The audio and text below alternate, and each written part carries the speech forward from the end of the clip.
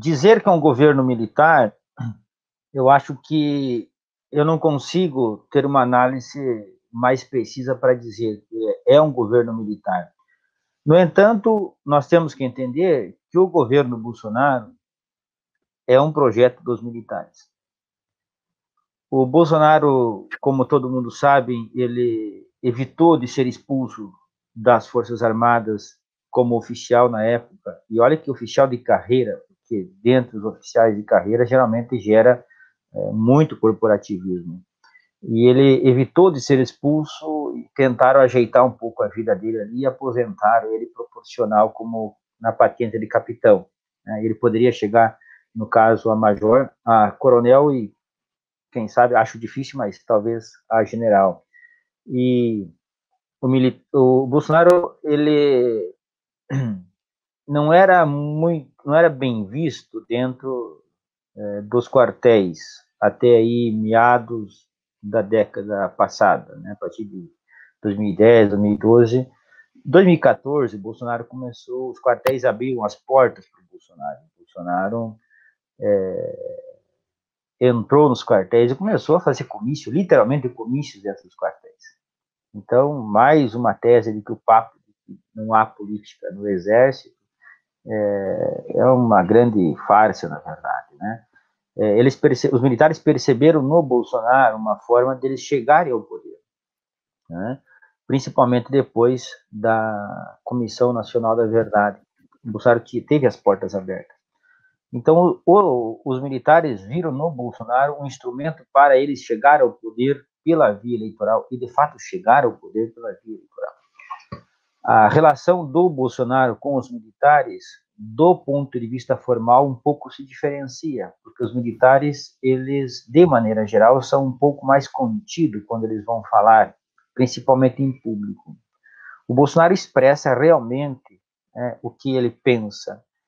É, eu sempre venho dizendo há anos que a diferença entre o Bolsonaro e os militares está apenas na fala, na forma de expressar, melhor dizendo, e não no conteúdo. Existe uma forte relação com o que o Bolsonaro pensa e o que o conjunto da, das Forças Armadas pensa. Eu só queria fazer um parênteses aqui. É, quando eu me refiro aos, aos militares, eu estou me referindo a, mais especificamente aos oficiais das três Forças Armadas. Porque nós temos aí uh, as três Forças Armadas, não é? E dentre as, uh, os oficiais, eles existem os oficiais de carreira e os oficiais que não são de carreira, que são temporários, que ficam em torno de sete, oito anos, fazem curso de formação temporária numa escola de, né, de, que é a CPUR, que ele diz, que é o curso preparatório para oficial da reserva, para oficial reserva, e esse com 7, 8 anos acabam indo para a reserva. O oficial de carreira que, ele, que passa na MAN, é, faz a escola, depois é, vai para os quartéis e a maioria deles se aposentam como coronel e alguns chegam ao generalato. Mas, de forma geral, a linha de pensamento e a doutrina dos militares já é observada né, com muito cuidado a partir da, já da entrada na MAN a partir da entrada na Academia das Agulhas Negras, por exemplo, que forma os oficiais do Exército, e também a Escola de Oficiais que forma da Marinha. É, então, existe uma relação muito próxima, é, muito próxima com o que o Bolsonaro pensa e o que os militares pensam.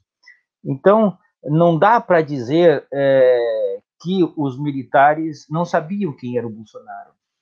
É interessante que a grande mídia hoje, elas acabam fazendo contato com os generais, e, e os generais acabam passando as, as fontes privilegiadas dos jornalistas, os jornalões por aí, é os generais. Nós temos que entender que os generais eles têm uma política oficial e uma política oficiosa. Uma política oficial é aquela política que eles falam para a imprensa, que eles falam ao público.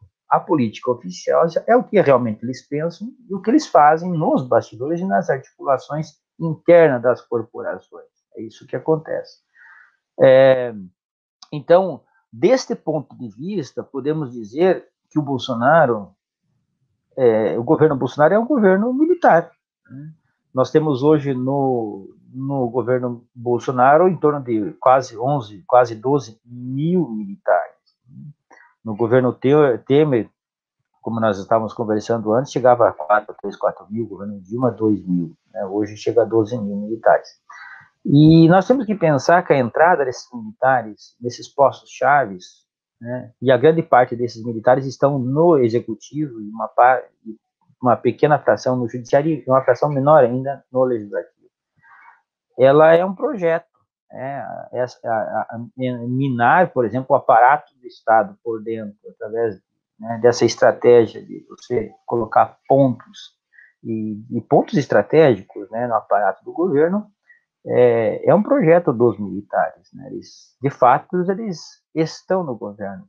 Talvez eles não acreditavam que é, não poderiam conter o Bolsonaro. O Bolsonaro, de fato, é uma pessoa que expressa realmente, verbaliza é, o que os militares pensam, e ele vai avançando sempre o sinal. É, o, Bolsonaro não recua, isso, isso, isso é importante nós observarmos, não há recuo, muito pelo contrário, vocês só vão ver daqui para frente o Bolsonaro sempre avançando.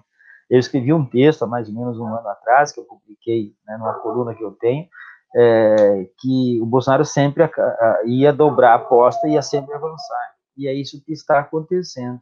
Nós estamos nos referindo a, aos militares, é importante nós pensarmos que dentro das Forças Armadas existe uma hegemonia na condução do processo do Exército.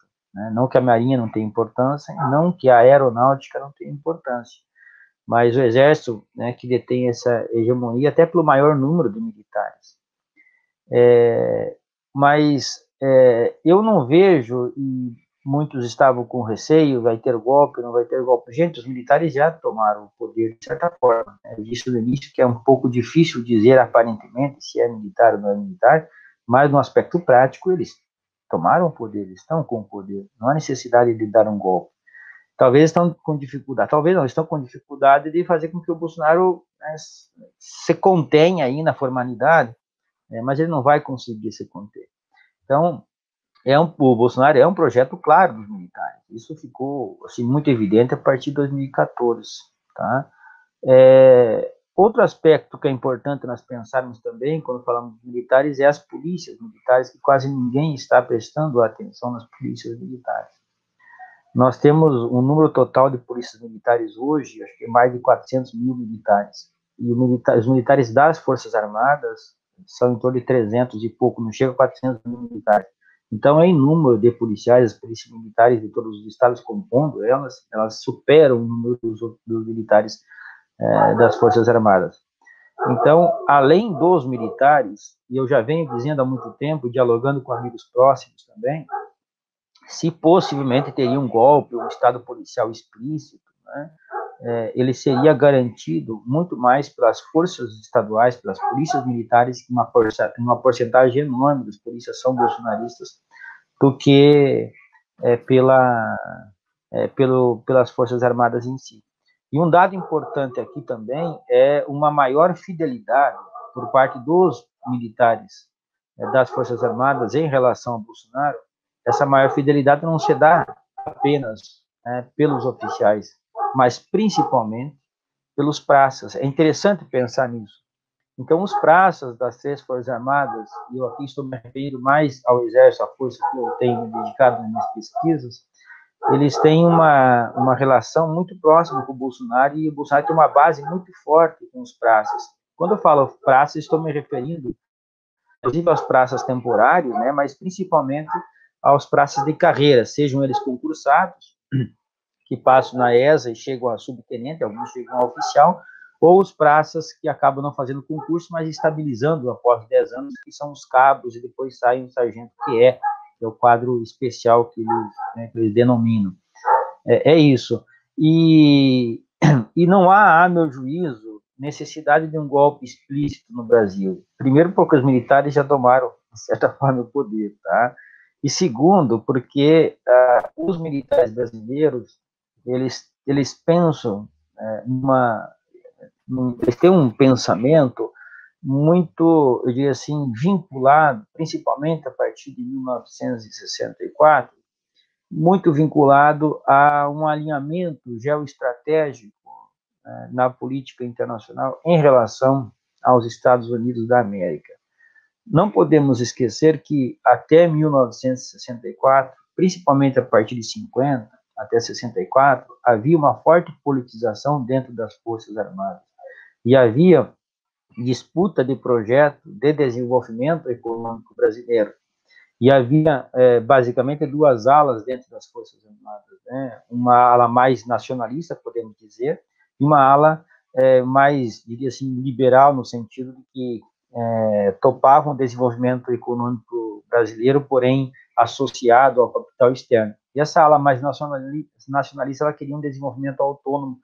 E essa ala nacionalista, ela, ela era composta por diversas matizes, né? Tinha um pequeno número de, de fato, de militares é, comunistas, mas a grande maioria eram nacionalistas ou né, tinha uma vinculação com o trabalhismo também.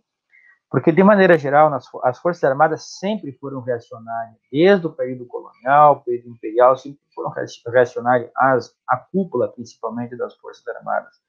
Então, a esquerda, podemos dizer assim, dentro das Forças Armadas, elas sempre foram minoritárias, mas elas existiram. Né? O professor Paulo Cunha, professor da Unesp, é um grande pesquisador sobre a esquerda militar no Brasil. É, elas existiam. Então, tinha dois projetos, né? um projeto nacionalista autônomo e um projeto associado independente. E essas disputas nelas se davam de fato no calor do debate, principalmente no clube militar né, do Rio de Janeiro.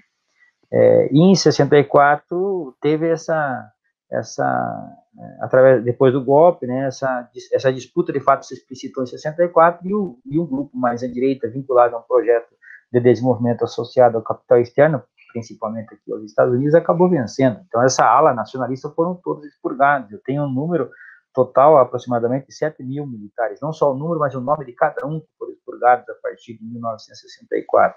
Então, esse trabalho foi feito pela é, CNV.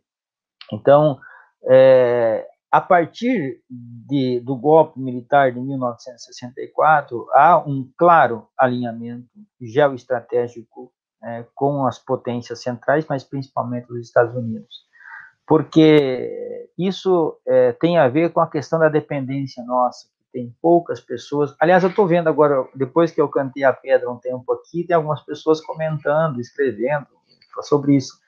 Ah, as Forças Armadas Brasileiras, a partir de 64, tomaram a posição de, de fazer, de consolidar de fato, né, pela força, esse projeto de desenvolvimento associado e dependente brasileiro.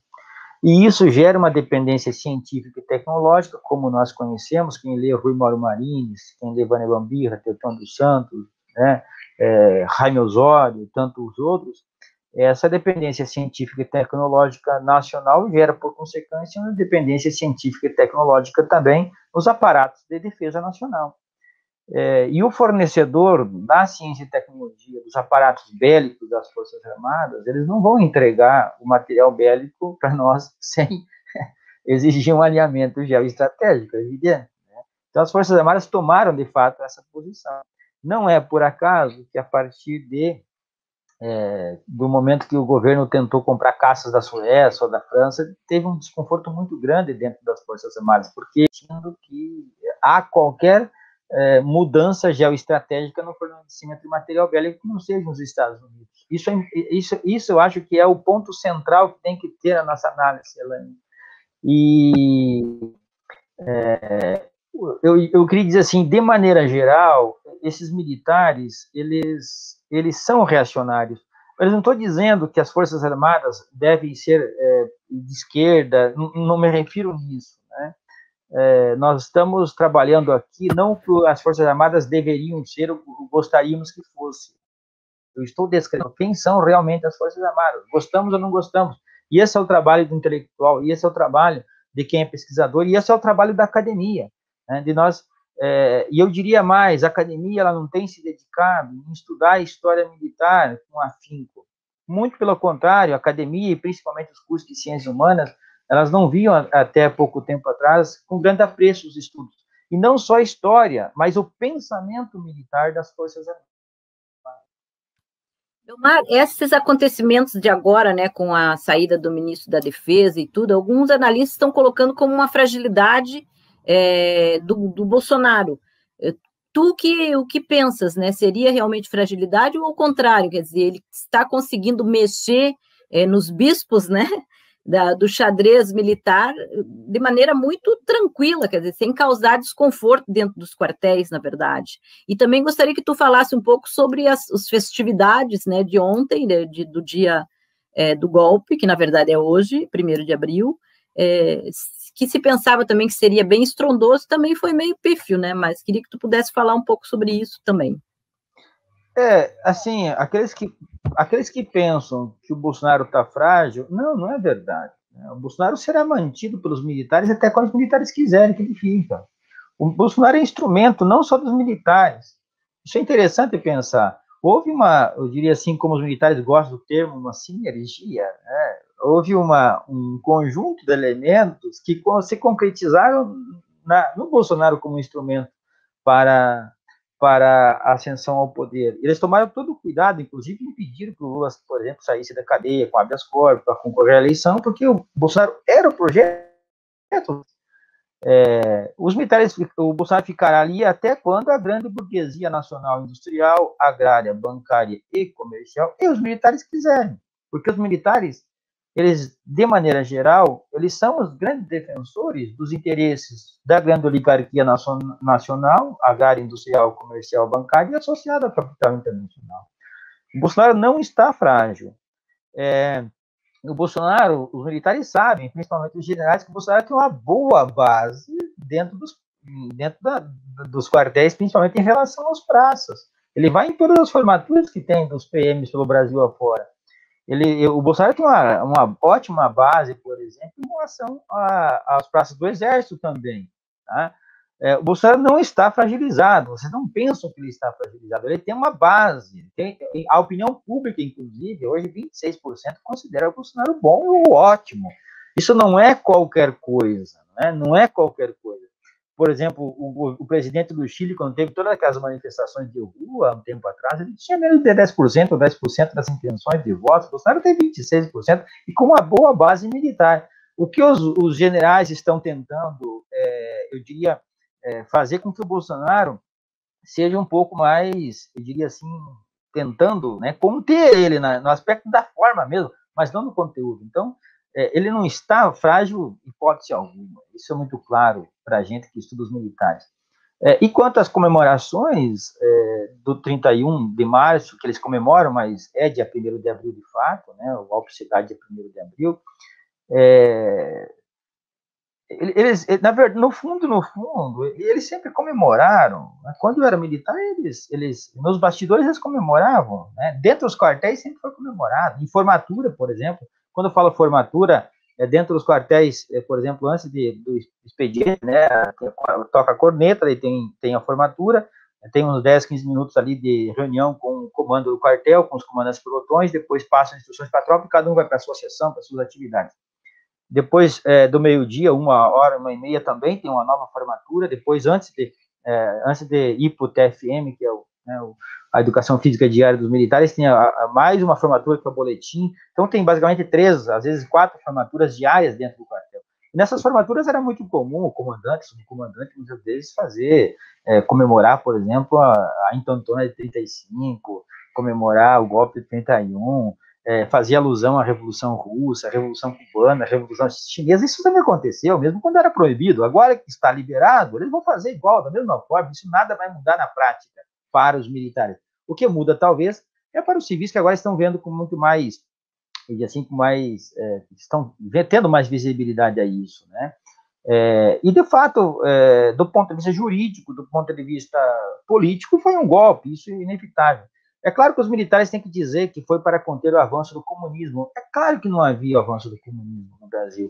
Claro que havia pessoas que defendiam o comunismo no Brasil, mas assim, ah, havia o que havia de fato no Brasil é, uma intensificação das lutas populares cada vez mais em função da busca por direitos e aumentos salariais e tudo mais, até porque a inflação na década de 60 era, era, era enorme no Brasil, era gigantesca, as perdas salariais reais dos trabalhadores era muito grande. Então, é, isso coincidiu também nesse período com, com a luta dos praças dentro das Forças Armadas por direito, eles não poderiam casar, né, eles não poderiam ser, é, votar ou é, é, a votar tinha uma dubiedade também, a dubiedade em ser eleitos. Então, há uma luta interna dos praças, um processo de politização de, de eles, eles, começaram a estudar a partir disso, então coincidiram a luta dos praças com é, a luta dos trabalhadores.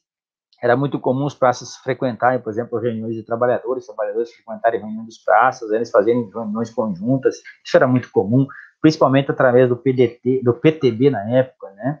É, então, foi uma série de coincidências, coincidência não, uma série de elementos aqui, é uma amálgama que proporcionou o, o, golpe de 64. E o golpe de 64 foi justamente para consolidar a dependência brasileira e aprofundar a dependência científica e tecnológica brasileira. Não foi para conter o avanço do comunismo, foi justamente para consolidar esse projeto associado e dependente das potências estrangeiras, principalmente os Estados Unidos.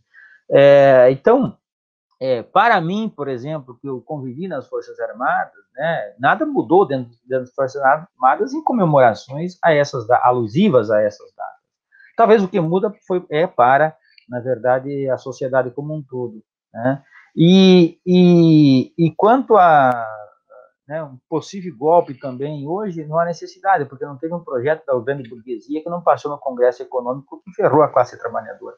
Então, é, é, existe um, uma, diria assim, é, uma hegemonia das classes dominantes nacionais e, e também é, que são subalternas ao capital internacional e os militares sem precedentes na história do Brasil. Não há necessidade para nada, né? Não há, há um, muito pelo contrário, há um retrocesso de avanço no Brasil, há uma contra-revolução em andamento monstruosa.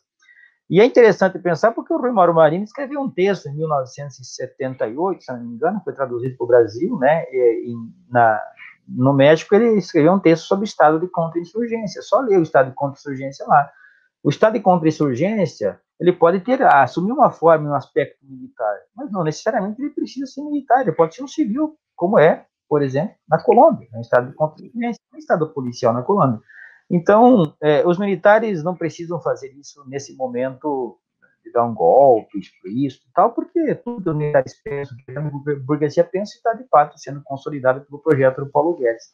O Bolsonaro faz isso muito bem, quer dizer, todas essas ameaças de golpe que, que são dadas a cada tanto, creio que signifique um pouco isso, né, de manter a militância dele, né, naquele estado de, de ódio, né, babando de ódio contra o comunismo, e manter essa militância organizada e, digamos, alerta, né, acho que essa é uma, é uma tática que ele usa que, do meu ponto de vista, é muito bem conduzida.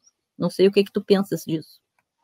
É, a, a, diferença entre o governo Chaves e o governo Bolsonaro, diferença, eu diria assim, explícita. O governo Chaves era um governo nacionalista, um governo que defendia os interesses da soberania nacional, defendia o bem-estar do seu povo. Não era um governo entreguista como é o governo, governo brasileiro, né?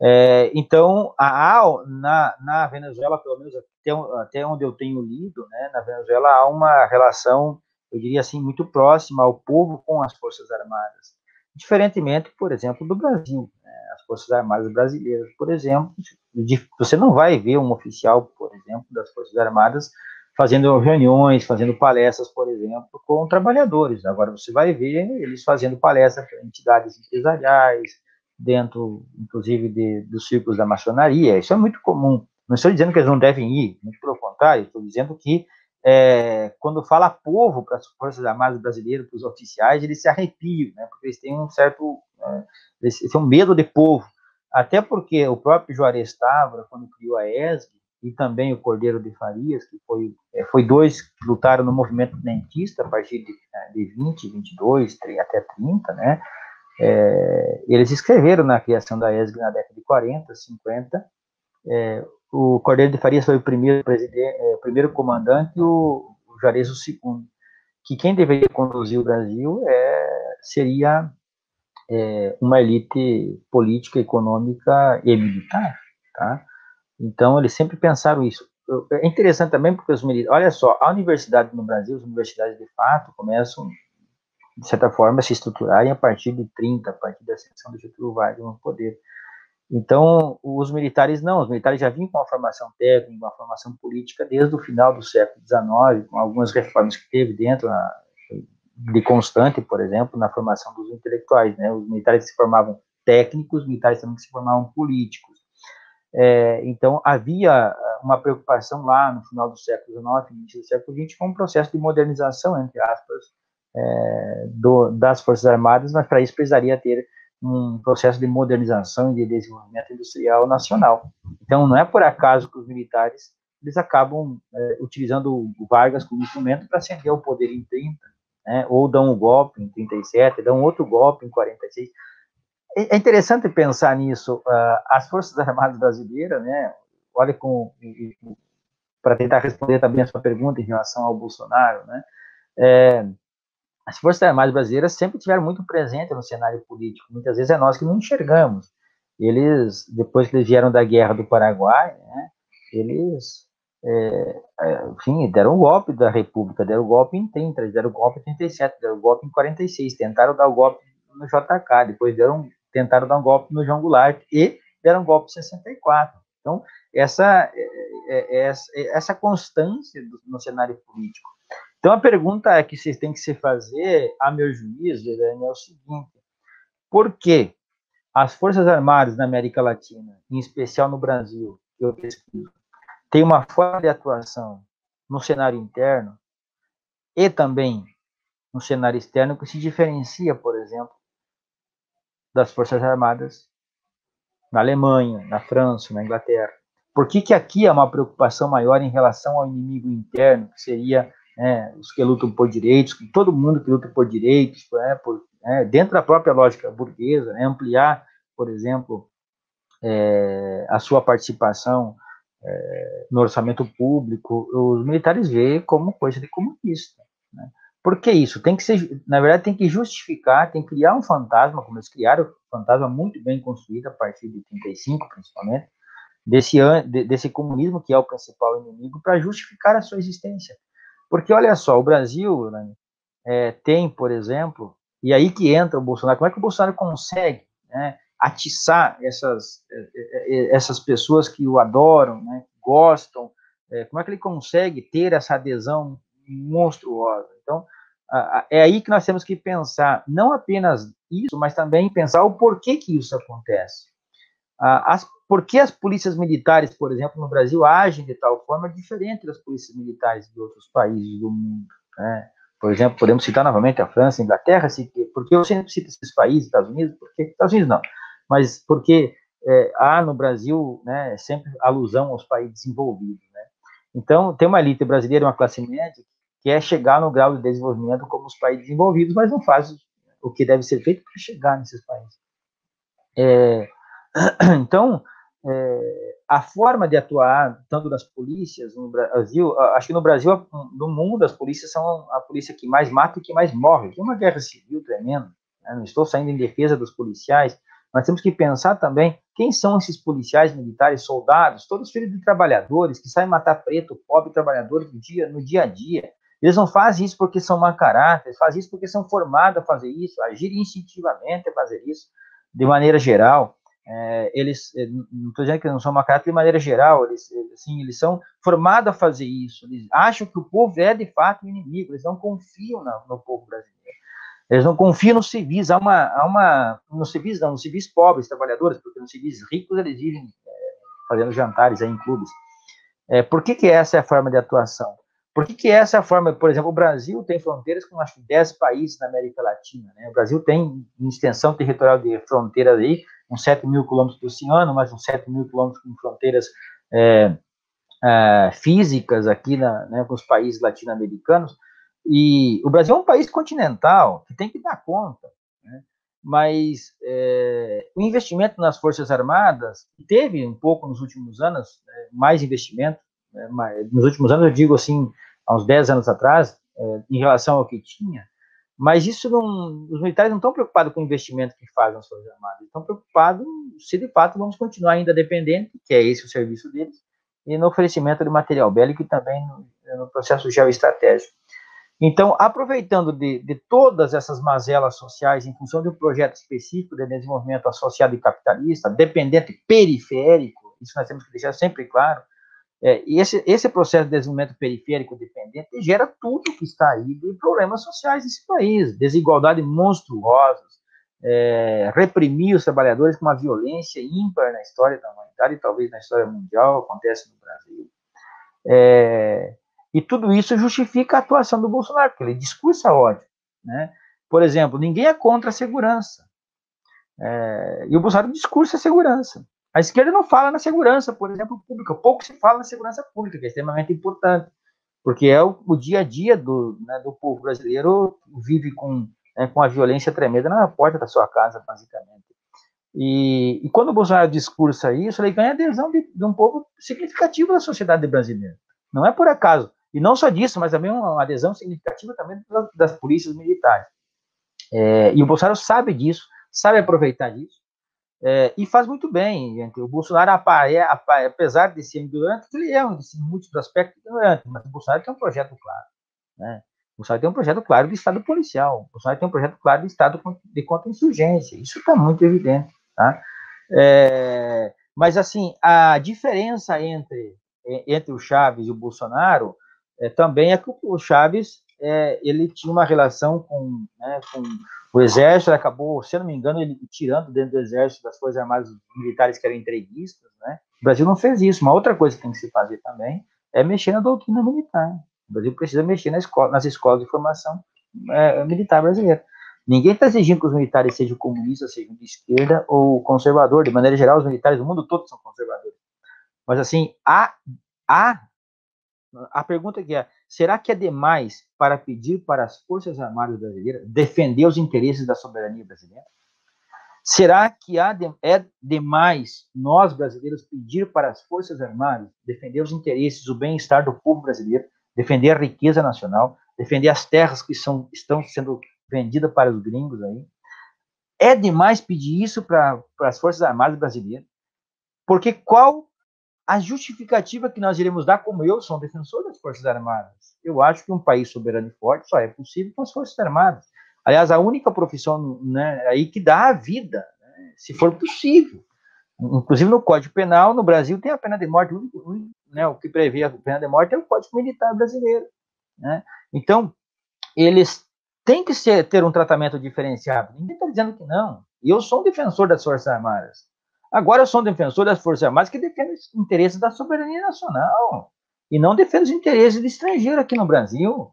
Nós temos que sentar com esses militares e dialogar com eles. O que, que eles pensam ah, sobre isso?